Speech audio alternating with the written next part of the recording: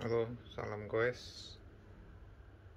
Eh, video ini saya mau bahas shifter yang bisa setting memang cuma dua speed tapi dia bisa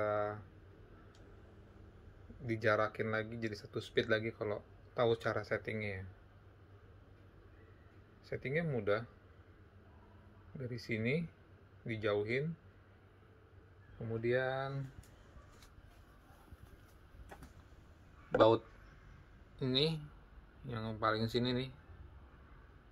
Diatur sesuai dengan selera. Karena di sini dia baru bisa kita lihat sama-sama lihat. Tuh lihat ya ada drat di sini. E, menandakan kalau yang ininya bisa dijauhin ke sininya lagi. Saya newbie ya bukan pro bahas ginian. Teman saya udah berhasil uh, nyeting ini sih. Nah ini lihat bautnya. Mana yang lebih keluar? Itu yang di di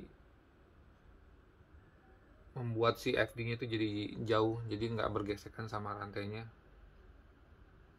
Dan baut yang paling sana yang kecilnya ini. Ini untuk baut perpindahan si crank kecil ke crank besar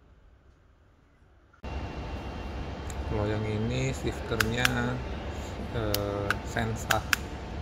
Sensa nggak bisa dia cuma bisa sekali doang. Nggak bisa kita jauhin lagi sekali. Jadi dia cuma murni dua kali. Ya ini shifternya sensa. Yang ini FD nya Tiagra shifternya 2 speed Shimano Deore Diore juga bisa. Lihat ya. Diore, Tiagra, Sora.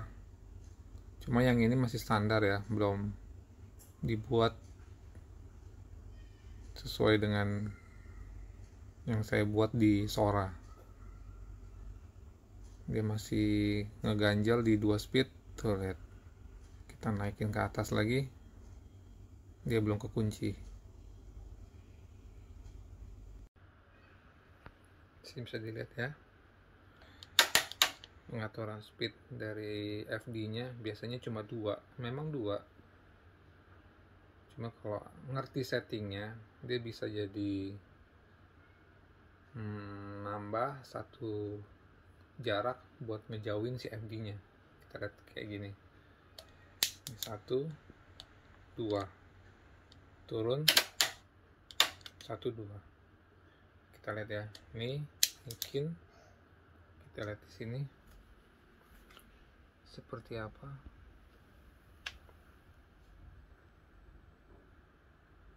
Ini kan? Si rantainya itu masih nempel di FB saya tekan lagi sekali buat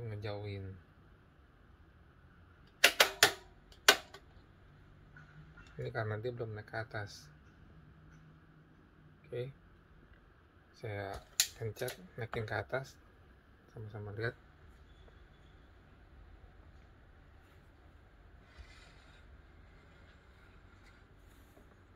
Kita lihat. Dengan nempel. Pencet sekali lagi sini dia malah jauh. Jadi nggak bergesekan lagi.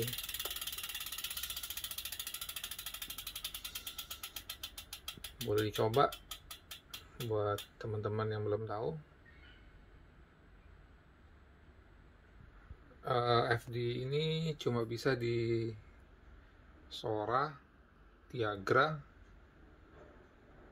Saya belum tahu kalau yang merek lain. Cuma setahu saya cuma bisa di Sora Tiagra.